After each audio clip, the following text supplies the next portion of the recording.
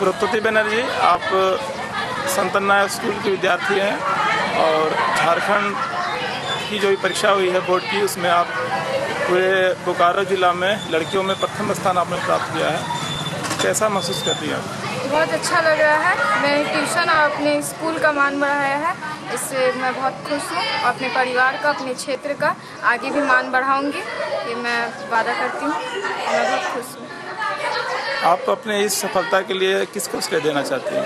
मैं इस सफलता के लिए माता पिता अपने ट्यूशन के सभी सर और स्कूल के सभी टीचर्स को श्रेय देती हूँ। आप अपने स्कूल के किस शिक्षक या शिक्षक या शिक्षिकाओं को खास तौर पर श्रेय देना चाहती हैं? मैं अपने sir Sanjay sir Karn sir Abhijeet sir और तमाम टीचर्स जितने भी हैं उन्हें सब श्रेय देना चाहती हूँ। आपको ये सफलता मिली है इसके बारे में आप आने वाले जो बच्चे हैं जो अगले साल क्लास टेन की परीक्षा देंगे उसके लिए क्या मैसेज क्या संदेश देना चाहिए? क्या उन लोगों को क्या करना चाहिए जिससे उन लोगों को भी ऐसी सफलता प्राप्त हो?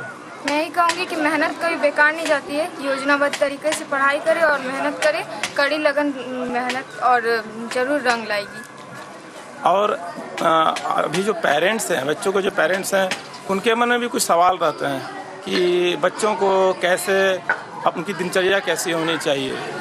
जैसे बच्चों को गार्जियंस हमेशा बोलते हैं कि टीवी मत देखो कम खेलो। तो इसके बारे में आप अपने बारे में क्या कहना चाहेंगे? आप आपकी दिनचर्या कैसी रही है इस मामले में? जैसे टीवी देखना सीरियल देखना या खेलना कंप्यूटर पर खेलना गेम खेलना ये सब इस मामले में आप कैसा आपका रूटीन क्या रहा था? मैं यही कहूँगी कि टीवी देखना और कंप्यूटर में खेलना या गेम खेलना गलत बात नहीं है परंतु उससे थोड़ा समय निकाल कर खेलना चाहिए। मेरे सर संजय सर कहते हैं कि मेहनत सही दिशा में करनी चाहिए। इसका मतलब ये नहीं है कि हम पढ़ते चले जाएँ उसी को पढ़ना चाहिए जो मुझे काम आए और मेहनत सही दिशा में करो।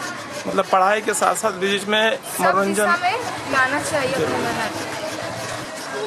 मिस बनर्जी आप अब इसके बाद में आप भविष्य के बारे में क्या आपकी योजनाएँ हैं? क्या आप करना चाहती हैं? भविष्य में मैं आगे भी जारी रखूँगी ऐसा ही प्रदर्शन करना चाहूँगी और भविष्य में मेरा लक्ष्य है कि मैं एक आई ऑफिसर बनूँ। थैंक यू डेरमो ऑनलाइन की ओर से आपको इस सफलता के लिए बहुत बहुत हार्दिक शुभकामनाएँ।